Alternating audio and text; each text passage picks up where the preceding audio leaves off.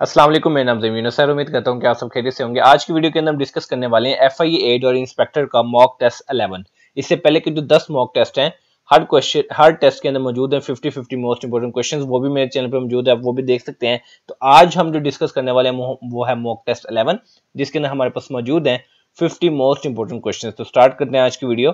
Question number one हमारे पास है when Pakistan first time take part in Olympics Olympics के अंदर पाकिस्तान ने पहली दफ़ा जो है वो कब जो है वो हिस्सा लिया। तो इसका आंसर हमारे पास है 1948 who was the captain of 2014 FIFA world cup winning team from Germany तो इस क्वेश्चन के अंदर हमें यह पता चला कि जो 2014 का फीफा वर्ल्ड कप था, उसकी जो विनर थी वो टीम थी जर्मनी अब आपने इस क्वेश्चन के अंदर यह बताना है कि उस टाइम पे जर्मनी के जो कैप्टन है वो कौन थे? तो इसका आंसर हमारे पास है फिलिप एल तो फिलिप एल जो है वो कैप्टन थे जर्मनी के और जर्मनी ने 2014 का फीफा वर्ल्ड कप जो है वो विन किया था। नेक्स्ट क्वेश्चन हमारे पास है what is the nickname of Manchester City of football club जो Manchester City of football club है, उसका निकनेम जो है वो क्या है? तो इसका आंसर हमारे पास है द सिटीजन्स ये बहुत ही इंपॉर्टेंट क्वेश्चन है, आपने याद रखने की, जो Manchester City of football club है, उसका निकनेम है the Citizens Hanoi is the capital of which country Hanoi जो है वो कौन से मुल्क का जो है कैपिटल है? तो इसका आंसर हमारे पास है वियतनाम तो ये चीज़ आपने याद रखनी कि Hanoi is the capital of Vietnam Tafsir Darul Mansoor was written by Tafsir Darul Mansoor जो है वो किसने लिखी? तो इसका आंसर हमारे पास है इमाम जलाहुद्दीन सहूती इमाम जलालुद्दीन सहूती ने जो है ये लिखी थी Tafsir Darul Mansoor. Bharat is the currency of Bharat जो है वो किस मुल्क की करेंसी है? तो इसका आंसर हमारे पास है थाईलैंड. तो ये चीज़ आपने याद रखनी कि भारत जो है वो थाईलैंड की करेंसी है.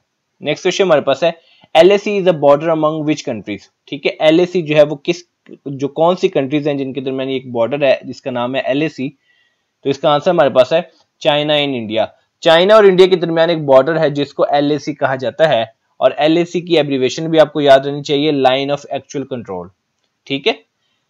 ये चीज़ आपने नहीं भूलनी कि एल जो है वो चाइना और इंडिया के दरमियान एक बॉर्डर है और एल की एब्रीवेशन है line of actual control Jaffna city is located in. Jaffna city जो है, ये कहाँ पे लोकेटेड है? तो इसका आंसर हमारे पास है श्रीलंका। तो ये चीज़ आपने याद रखनी की जो जफना सिटी है, वो श्रीलंका में लोकेटेड है। Nagorno Karabakh dispute Nagorno Karabakh dispute जो है, वो एक रीजन है। ये कौन सी दो कंट्रीज़ के दरमियान जो है, ये डिस्प्यूट है, ये वाला रीजन नगोर्नो कराबक तो इसका आंसर हमारे पास है अजरबैजान एंड अर्मेनिया तो ये चीज़ आपने याद रखनी है कि अगर आपसे एग्ज़ाम में पूछा जाए कि नगोर्नो कराबक जो है, वो डिस्प्यूट डिस्प्यूटेड रीजन है कौन सी दो कंट्रीज़ के दरमियान ये रीजन जो है वो डिस्प्यूटेड है?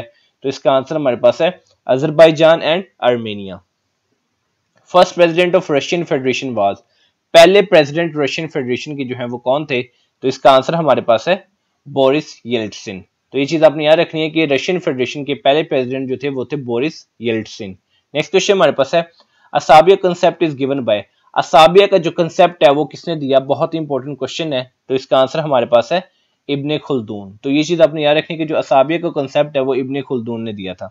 नेक्स्ट क्वेश्चन हमारे पास है who was the founder of Gupta dynasty Gupta dynasty के फाउंडर जो हैं, वो बानी जो हैं, वो कौन थे? तो इसका आंसर हमारे पास है चंद्रा गुप्ता वन। चंद्रा गुप्ता वन जो है, वो गुप्ता डायनेस्टी के जो है, वो फाउंडर थे। नेक्स्ट क्वेश्चन हमारे पास है which animal is known as the man's best friend कौन सा एनिमल जो है, वो मैंस का बेस्ट फ्रेंड जो है, वो जाना चाहता है? तो इसका आंसर हमारे पास है dog. So dog is known as the man's best friend next question हमारे पास है a starfish is known to have how many arms starfish का आपने नाम सुना होगा, और आपको ये भी पता होगा कि वो एक स्टार की तरह होती है और उसके डिफरेंट आर्म्स होते हैं। तो आपने इस क्वेश्चन के अंदर बताना कि एक स्टार फ़िश के जो है वो कितने आर्म्स होते हैं। तो इसका आंसर हमारे पास है फाइव आर्म्स तो यूजुअली 98 परसेंट जो है वो स्टार फ़िश के जो आर्म्स होते हैं वो फाइव होते हैं। ओकेजनली हो सकता है कि अगर उसका जो आर्म है वो टूट गया हो तो हो सकता है आपको कहीं पर फोर देखने को मिल जाए, या देर में भी पॉसिबिलिटी के सिक्स भी देखने को मिल जाए। लेकिन अगर हम जनरली बात करें तो फाइव आर्म्स होते हैं एक स्टार फ़िश के। नेक्स्ट क्वेश्चन हमारे पास है which flightless bird is known to with emblem of New Zealand एक ऐसी बर्ड है जो कि उड़ नहीं सकती, लेकिन वो न्यूजीलैंड का कौमी जो है वो एक एम्बलम है, कौमी निशान है, जो कि उनके जो है उनकी टीम को भी कहा जाता है। अगर आपने क्रिकेट मैच अगर आप देखते हैं तो इसका आंसर हमारे पास है कीवी बर्ड कीवी बर्ड जो है वो द कीवीज भी कहा जाता है न्यूजीलैंड की क्रिकेट टीम को। तो ये एक ऐसी फ्लाइटलेस बर्ड है जो कि एम्बलम है न्यूजीलैंड का एक कौमी निशान है उनके लिए। एक उनकी जो है वो एम्बलम है। किसी भी मुल्क का जो होते हैं डिफरेंट एम्बलम्स होते हैं तो इसी तरह कीवी जो है वो न्यूजीलैंड का एक एम्बलम है, जो कि एक फ्लाइटलेस बर्ड है। नेक्स्ट क्वेश्चन हमारे पास है which bird is known to have waterproof feathers एक ऐसा भी परिंदा है बर्ड है, जिसके वाटर प्रूफ वेदर होते हैं, यानी कि वो आराम से जो है वो पानी के अंदर तैर सकते हैं, उसके वाटर प्रूफ फेदर्स होते हैं। तो इसका आंसर हमारे पास है डक सो डक एक ऐसा बर्ड है जिसके वाटर प्रूफ फैदर्स होते हैं। नेक्स्ट क्वेश्चन हमारे पास है। What is the only continent in the world known to be snake free एक ऐसा कॉन्टिनेंट भी है दुनिया के अंदर जहाँ कोई भी स्नेक नहीं है। तो इसका आंसर हमारे पास है अंटार्कटिका तो आपने याद रखने कि अंटार्कटिका एक ऐसा कॉन्टिनेंट है जहाँ पे कोई भी सांप वगैरह नहीं है। नेक्स्ट क्वेश्चन हमारे पास है। What is the name of the animal which keeps growing until its death एक ऐसे एनिमल का नाम आपको बताना है कि जो ग्रो करता रहता है जब तक कि उसकी मौत ना हो जाए। तो इसका आंसर हमारे पास है लॉबस्टर तो लॉबस्टर एक ऐसा काइंड ऑफ़ एनिमल है जो कि ग्रो करता रहता है अपनी डेथ तक. यानी कि उसकी, ऐसा नहीं है कि कहीं भी जाके उसकी जो ग्रोथ है वो रुक जाए, वो ग्रो करता रहता है, हालाँकि जब तक उसको मौत ना आ जाए. नेक्स्ट क्वेश्चन हमारे पास है a trilateral agreement signed between the अच्छा सबसे पहले आपको ये बात बता, बताता चलूँ कि जो ट्राइलेटरल एग्रीमेंट का मतलब होता है ट्राई का वर्ड आ गया तो इट मीन्स तीन मुल्कों के दरमियान ये एग्रीमेंट हुआ. तो वो तीन मुल्क जो है वो कौन से थे? वो है यूएपी यानी कि अजबेकिस्तान अफ़गानिस्तान, पाकिस्तान। इस्लामाबाद में हुआ और मुआदा ये जो एग्रीमेंट है, किस लिए होगा? कितने किलोमीटर का रेल लिंक जो है वो बनाएँगे? और ये हुआ जुलाई 19 2023 ये 19 जुलाई 2023 की बात हो रही है कि एक ट्राइलेटर एग्रीमेंट हुआ बिटवीन द अजबेकिस्तान अफ़गानिस्तान और पाकिस्तान। इस्लामाबाद के अंदर कि वो कितने किलोमीटर रेल लिंक जो है वो बनाएँगे? तो इसका आंसर हमारे पास है 573 किलोमीटर। सो ट्राइलेटरल इस एक क्वेश्चन के अंदर आपको चार पाँच बातें पता चल गई। ट्राइलेटरल एग्रीमेंट जो कि जिसको यूएपी कहा जाता है, जो कि थ्री कंट्रीज़ के दरमियान हुआ लाइक उज्बेकिस्तान अफ़गानिस्तान और पाकिस्तान के दरमियान हुआ, कहाँ पे हुआ? इस्लामाबाद में हुआ और कब हुआ? 19 जुलाई 2023 को हुआ। कि कितने किलोमीटर की रेलिंग जो है वो बनेगा? तो उसका आंसर हमारे पास है 573 किलोमीटर। तो इसमें से कोई भी क्वेश्चन आपसे निकाला जा सकता है। सिर्फ़ यही नहीं है कि आपसे ये भी पूछा जा सकता है कि कौन सी तीन कंट्रीज़ के दरमियान जो है वो ट्राइलेटरल एग्रीमेंट हुआ, जिसके बिहाफ पे जो है वो पाँच किलोमीटर की रेल लिंक बनेगा। ठीक है, ये भी पूछा जा सकता आपसे, या आपसे ये डेट भी पूछी जा सकती है 19 जुलाई 2023 मूव करते हैं नेक्स्ट क्वेश्चन की तरफ़। क्वेश्चन नंबर 20 हमारे पास है who is the current head coach of Pakistan cricket team Pakistan cricket team का जो करंट हेड कोच है, वो कौन है? तो इसका आंसर हमारे पास है Grant Bradburn Grant Bradburn जो है वो करंट हेड कोच है पाकिस्तान क्रिकेट टीम के। क्वेश्चन नंबर 21 हमारे पास है China Pakistan and Afghanistan trilateral dialogue was held on तो चाइना पाकिस्तान और अफ़गानिस्तान का ट्राइलेटरल डायलॉग जो है वो कब हुआ? रिसेंटली हुआ है तो इसका आंसर हमारे पास है 6 मई 2023 तो आपने याद रखने की 6 मई 2023 को ट्राई ट्राइलेटरल डायलॉग हुआ between the China Pakistan and Afghanistan who has represented Pakistan in coronation ceremony of King Charles III on UK coronation ceremony हुई किंग चार्ल्स थ्री के यूनाइटेड किंगडम के अंदर। तो पाकिस्तान को जो है वो किसने रिप्रेजेंट किया जो कि रिसेंटली हुई है? तो इसका आंसर हमारे पास है शहबाज शरीफ। वो is currently serving as prime minister of Pakistan. तो उन्होंने पाकिस्तान को रिप्रेजेंट किया in the coronation ceremony of king Charles three in the United Kingdom next question हमारे पास है what is the rank of Pakistan in press freedom index in reporters without borders 2023 report तो पाकिस्तान का rank क्या था in reporters without borders press freedom index के मुताबिक? तो इसका आंसर हमारे पास है 150 so, pakistan was ranked 150th in the press freedom index in the reporters without borders, जो कि 2023 की रिपोर्ट है। नेक्स्ट क्वेश्चन हमारे पास है। After how many years has the foreign minister of Pakistan visited India कितने सालों के बाद जो फॉरेन मिनिस्टर पाकिस्तान के उन्होंने इंडिया का विज़िट किया है तो इसका आंसर हमारे पास है 12 इयर्स तो ये चीज़ आपने याद रखनी कि 12 साल के बाद foreign minister of Pakistan visited India next question हमारे पास है। Who become second fastest Asian batter to score 12000 runs कौन जो है वो दूसरे फास्टेस्ट एशियन बैटर बन गए जिन्होंने तेज तरीन 12000 स्कोर किए हैं? तो इसका आंसर हमारे पास है Babar Azam. So Babar Azam become the second fastest Asian batter to score 12000 runs next question हमारे पास है which Pakistan is among the 100 most influential people of 2023 by the Time magazine कौन सा पाकिस्तानी जो है वो 100 मोस्ट इन्फ्लुएंशियल पीपल में आया है 2023 के टाइम मैगजीन के अंदर? तो इसका आंसर हमारे पास है Sherry Rehman so Sherry Rehman is among the 100 most influential people of 2023 by the Time magazine next question हमारे पास है सेपरा स्टैंड्स फॉर सेपरा की एब्रिविएशन आपको इस क्वेश्चन के अंदर बतानी है तो इसका आंसर हमारे पास है Sindh electric power regulatory authority तो ये चीज़ आपने अपनी पूछनी SEPRA stands for Sindh electric power regulatory authority next question हमारे पास है who is the current captain of Pakistan women's cricket team Pakistan women's cricket team के करंट कैप्टन जो है वो कौन है? तो इसका आंसर हमारे पास है बिस्मा मारूफ। सो बिस्मा मारूफ जो है वो करंट कैप्टन है पाकिस्तान वुमेन्स क्रिकेट टीम की। Who is the current DG ranger Sindh current DG ranger Sindh जो है वो कौन है? तो इसका आंसर हमारे पास है मेजर जनरल अजहर वकास तो ये चीज़ आपने याद रखनी है कि मेजर जनरल अजहर वकास जो है वो करंट डीजी हैं रेंजर सिंध के। नेक्स्ट क्वेश्चन हमारे पास है who is the current IG of national highways and motorway police N H M P इसकी भी एब्रीवेशन आपसे एग्ज़ाम में पूछी जा सकती है कि एन एच एम पी यानी कि नेशनल हाईवेज और मोटरवे पुलिस के जो करंट आईजी हैं इंस्पेक्टर जनरल हैं आईजी की भी आपसे एब्रीवेशन पूछी जा सकती है इंस्पेक्टर जनरल एनएचएमपी की भी आपको पता चल गया। अब आपने दो बातें इस क्वेश्चन में से आपको पता चल गई। अब आपने बताना कि करंट आईजी कौन है एनएचएम एनएचएमपी के। तो इसका आंसर हमारे पास है सुल्तान अली खाजा तो सुल्तान अली खाजा आज जो है वो करंट आईजी हैं national highways and motorway police के। एक तो चीज़ हमें इस क्वेश्चन में ये पता चली, दूसरी बात हमें ये पता चली कि आईजी की एब्रीवेशन होती है इंस्पेक्टर जनरल और एनएचएमपी की एब्रीवेशन क्या है? National highways and motorway police next question हमारे पास है who is the current attorney general of Pakistan current attorney general of Pakistan जो है वो कौन है? तो इसका आंसर हमारे पास है मंसूर उस्मान अवान तो मंसूर उस्मान अवान जो है वो करंट अटर्नी जनरल है पाकिस्तान के।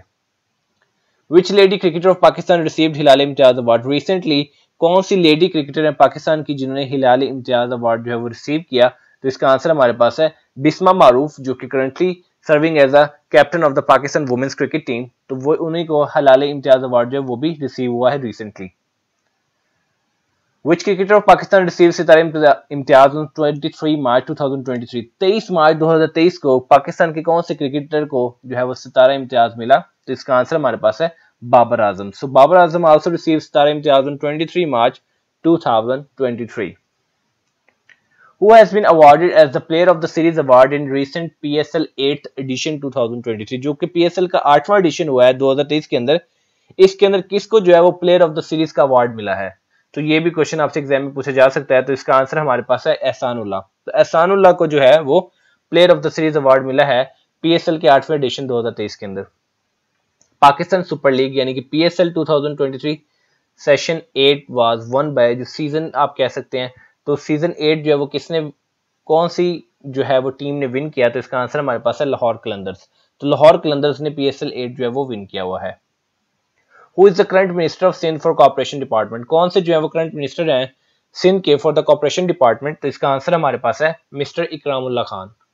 तो आपने याद रखना है कि मिस्टर इकरामुल्ला खान जो है वो करंट मिनिस्टर है of the Sindh for the cooperation department तो क्वेश्चन नंबर 37 हमारे पास है chevon is the meat of chevon जो है वो किसके मीट को कहते हैं? तो इसका आंसर हमारे पास है गोड यानी कि बकरी के गोश्त को चिवॉन कहा जाता है स्पेसिफिकली वैसे तो हम आपको पता है, उसको मटन कहते हैं स्मॉल रूमिनेट्स होते हैं स्मॉल जो डोमेस्टिक एनिमल्स हैं, उनको मटन तो कहते हैं, लेकिन इनके स्पेसिफिकली नेम है डिफरेंट के डिफरेंट नेम है, जैसे कि गोट का मीट का नेम होता है chevon deer meat is also called as जैसे कि अब डियर मीट को क्या कहा जाता है? तो इसका आंसर हमारे पास है वेनिसन ठीक है?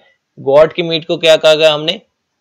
आपके सामने था कि गॉड की जो आ, मीट होता है उसको कहा जाता है चेवॉन और जो डियर का मीट है उसको कहा जाता है venison the one who knows many languages एक ऐसा शख्स जिसको बहुत ज़्यादा लैंग्वेजेस का पता होता है उसको क्या कहते हैं? तो इसका आंसर हमारे पास है पॉलीग्लोट तो पॉलीग्लोट एक ऐसा पर्सन है जो कि काफ़ी ज़्यादा लैंग्वेजेस जानता है. Polyandry means polyandry का मतलब क्या है तो इसका आंसर हमारे पास है a woman having more than one husband एक ऐसी खातून जिसके एक से ज़्यादा खामंद हो, उसको हम कहते हैं polyandry a group of giraffe is known as group of giraffe जराफा जो है, उसके ग्रुप को क्या कहते हैं तो इसका आंसर हमारे पास है tower so group of giraffe is known as tower a lady who remains unmarried एक ऐसी खातून जो कि गैर शादीशुदा रह जाती है, उसकी शादी नहीं हो पा, हो पाती है और उसकी उम्र जो है ज़्यादा हो जाती है। यानी कि वो अभी तक रिमेन्स अनमेरिड रहती है। ऐसी लेडी को क्या कहते हैं? तो इसका आंसर हमारे पास है स्पिंस्टर ये वन वर्ड सब्सटीट्यूशन के क्वेश्चन भी आपसे एग्ज़ाम में पूछे जाते हैं इंग्लिश के पोर्शन के अंदर तो ये वो क्वेश्चन है। A lady who remains unmarried उसको हम कहते हैं spinster a person fluent in two languages is known as एक ऐसा शख्स जो कि दो लैंग्वेजेस में बहुत ज़्यादा फ्लुएंट है तो उसको क्या कहते हैं? तो इसका आंसर हमारे पास है बायलिंगुअल यानी कि फॉर एग्ज़ाम्पल अगर आपको इंग्लिश भी आती है और आपको जो है वो उर्दू भी आती है तो you are a bilingual person यानी कि आपको दो लैंग्वेजेस जो है, आप उसमें फ्लुएंट है।